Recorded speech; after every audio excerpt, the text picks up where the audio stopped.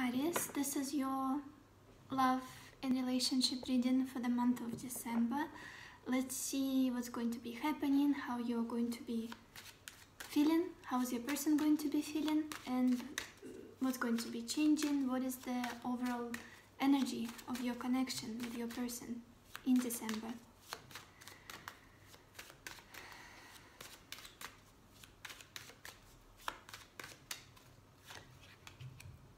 Mhm. You are taking your time. For some reason, you have to be patient here with this person, with this connection. You are feeling um, like you have to look at things from very different perspective. hmm You want this union. You want this two of cups. You want this uh, partnership. You feel like they're your other half. This is the person you love, due to the circumstances, nothing is moving, nothing is happening. You both have to wait. You both have to go through this period of hanging in there, waiting for something, and not being able to take any um, actions. Could be that there is distance between the two of you because you are in this energy of the world at the moment. It's the distance, it could be uh, online dating, or maybe it's just that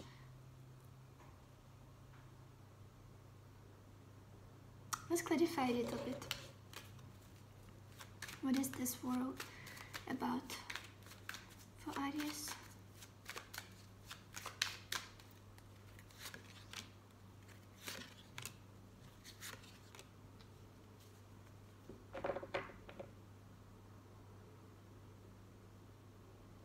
Why does it feel like something has ended for you here? It feels like the cycle, some sort of cycle has ended and uh,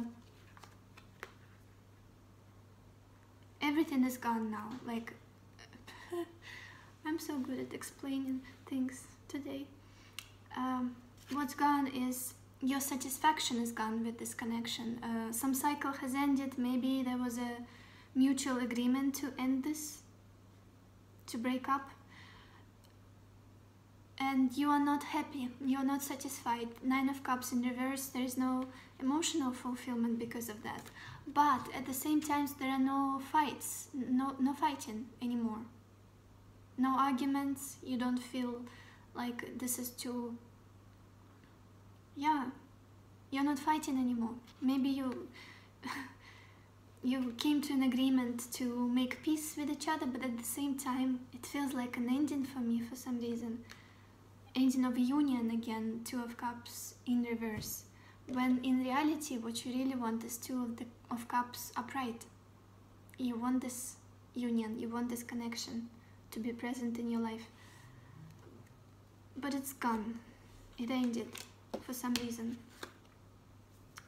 And you accepted it. Somehow you are like, yes, okay, I'm gonna stay humble. I'm gonna stay I'm gonna keep the peace in my soul. I'm not gonna get too emotional about that. I'm go not gonna do anything drastic.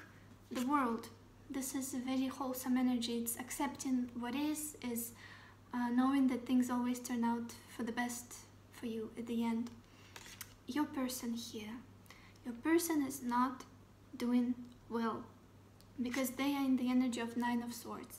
This is the energy of anxiety. This is someone panicking. This is someone that can't sleep. This is someone feeling remorse, feeling um, worried about the future. What's gonna happen? Maybe I made a mistake. Maybe uh, lots of overthinking. Uh, yes, let's clarify. Why is Nine of Swords here? Fears, fears they can't move on. What's happening here is that they can't move on. Six of Swords in reverse and the Ace of Wands. They can't move on and start anew. That's why. It almost, yes, this has ended. The situation, this partnership has ended, but they can't move on in peace. They can't start again. There is no, there is no new start for them because they're fixated on you, the King of Cups. This is uh, someone we trust, someone we love, and you are, you still take a big place. You still occupy occupy a huge place in this person's heart. And um, this is a very very stable energy. It's going to take so much time for them to forget you to move on. And they're not successful with that right now at all. Uh, your future plans and actions for this connection um, is justice. You just want the truth. You just want um, for things to become balanced again. You just want I see you wanting this connection to uh, to become resurrected and uh, in, in a much more balanced way, in a much more peaceful way, where everyone gets what it is that they want, uh, everyone's needs are covered, and but let's clarify.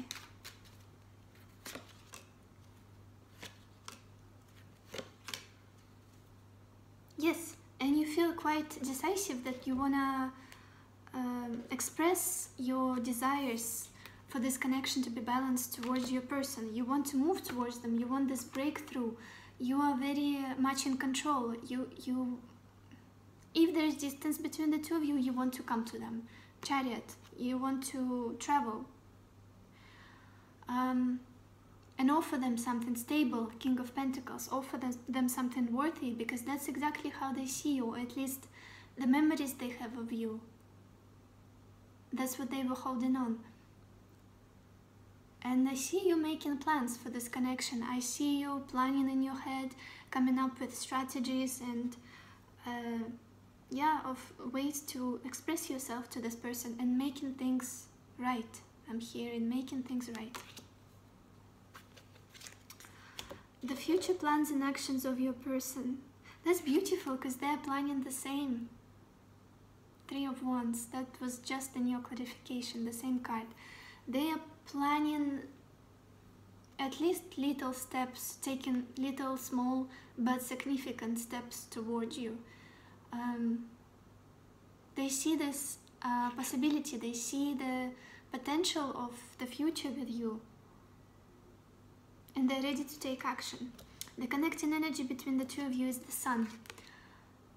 Someone here is uh, bringing so much positive energy into this connection, is feeding the life force of this connection. And I feel like this is you, Aries.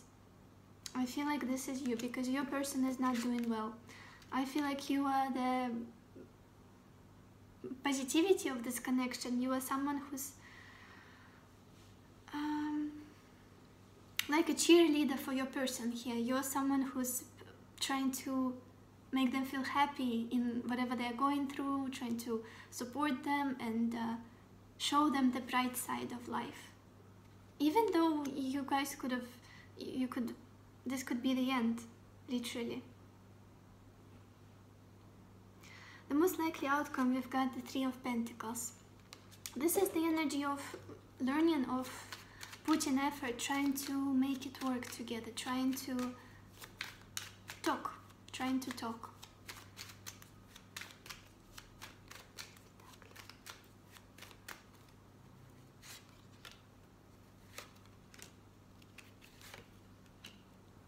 King of Pentacles again. Mm.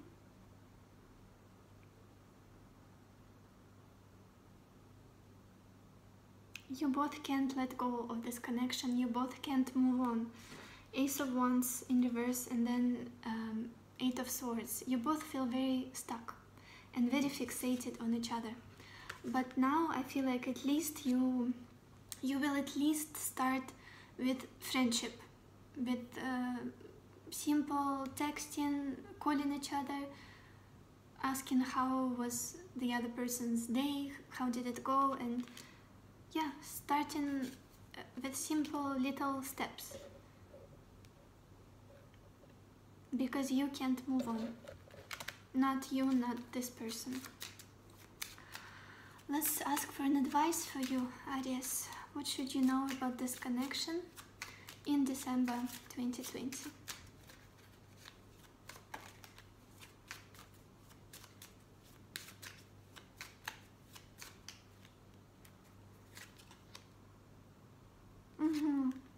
Question. We got this card unrequited love and this could be the way you're feeling right now or the way your person is feeling.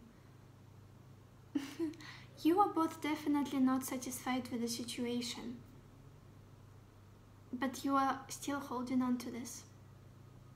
Maybe you can't give each other what it is that you need, but you're still trying. You are working on yourself, you are trying to stay friends maybe, you are trying to make peace with whatever is happening.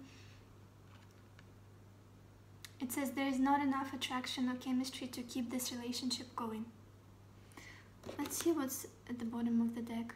Healing family issues. Your love life benefits as you forgive your parents. Yeah, maybe there are some blockages, some traumas from the past that um, you trigger in each other and that's why you're both struggling to make it work. Mm. I hope this helped. I hope it gave you just a little bit of clarity and I wish you lots of happiness, lots of love for yourself and for others and I will see you in my next videos. Bye bye.